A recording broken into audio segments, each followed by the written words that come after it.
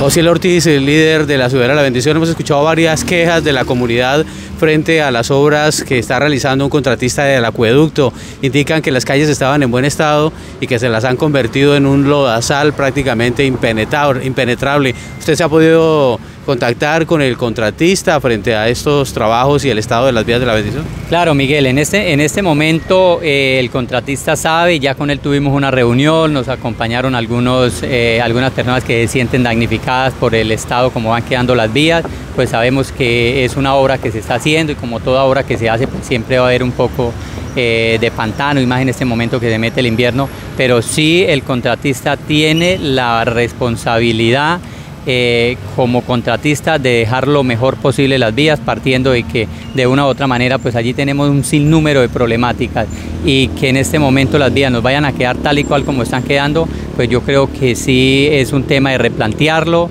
Yo siempre lo he dicho, Miguel, y se lo digo a la ciudadanía, yo no me opondré jamás a los procedimientos, al desarrollo que tenga la ciudad de la bendición, pero también Siempre voy a estar vigilante, voy a estar ahí como un veedor, con mi responsabilidad que me atañe más allá de líder, como vocero, como habitante del sector. Voy a estar allí comprometido en que primero la obra se haga como tiene que ser. Segundo, el contratista debe dejar lo mejor posible las vías, buscar la manera, sea con eh, el mismo contrato o sea él directamente con la alcaldía que le colabore, pero las vías deben de quedar lo mejor posible tratando de que queden tal y cual como estaban cuando rompió, porque sí, vuelvo y le digo, yo le hallo la razón a la comunidad. Esta mañana pasé por alguno de los sitios y sí, de, veras con el aguacerito que cayó anoche, las vías están eh, prácticamente intransitables. Hemos visto ya algunas mamitas eh, que madrugan a llevar sus hijos, se han caído, se han vuelto nada. Las vías están un poco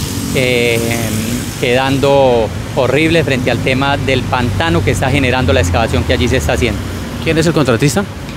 El contratista en este momento, eh, el responsable como tal, pues eh, es una empresa que pues la verdad poco la conocemos, pero pues ahí nosotros tenemos directamente comunicaciones con la interventoría y el, el encargado del tema a la hora, con él hemos tenido muy buena comunicación, ya le he expuesto estos casos, le he enviado los videos, las fotos para que se ponga al tanto y esperamos que eh, prontamente empiece a darle solución en las vías que ya en este momento han intervenido y han logrado meter la tubería. ¿Esta obra de qué entidades? Esa obra la está haciendo directamente eh, la alcaldía mediante el tema de la empresa Acueducto Alcantarillado de Yopal con una inversión de cerca a 7.500 millones de pesos.